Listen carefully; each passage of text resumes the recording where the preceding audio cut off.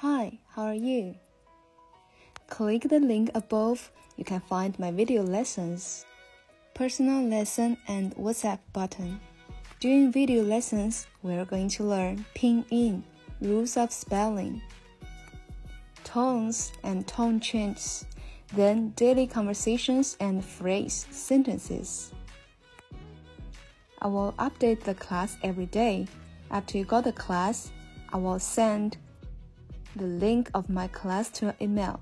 So please leave your email address. Personal class is one-to-one class for one hour. I will be teaching with Zoom app. During the class, you can ask questions anytime and I will be patient enough for your questions and I will message you through email for time booking. Thank you for watching. Thank you for your support. Love you guys.